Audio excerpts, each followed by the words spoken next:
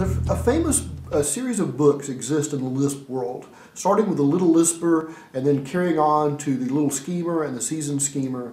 And these books are all in a very uh, question and answer style, a very Socratic style, where a question is posed and an answer is given. And I thought this is a really nice way to introduce Lisp. And Clojure is a Lisp that runs in the JVM, and so I modeled this talk after the Little Schemer and the Reasoned Schemer, and that's why it's called the Curious Clojureist. This talk is really designed to show you what's cool about Clojure. Uh, I showed the Clojure syntax, but because it's a Lisp, there's almost no syntax there. And there's got to be a compelling reason why you would create a new language and make it a Lisp I show those compelling reasons within this talk. And the other thing that I try to illustrate in this talk is that Clojure is not just a new programming language on the JVM.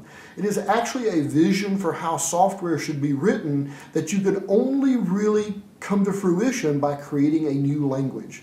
Some of the things that are core to Clojure, like immutability, have to operate all the way down at the core language level. But if you can assume that, some really astounding capabilities come for free in the language. For example, in Clojure, every kind of mutable reference is always handled by a transaction in memory by the Clojure runtime.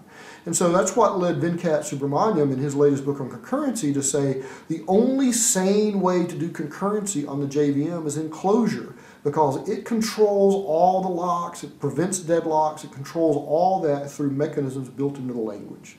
There are several aspects of Clojure like this that are really cutting edge and very, very cool advanced features for language, but in a language that you can start using right now because it's very expressive, it's very high performant, it is in fact the most exciting new language on the JVM, and my purpose in this talk is to get you as excited about Clojure as I am.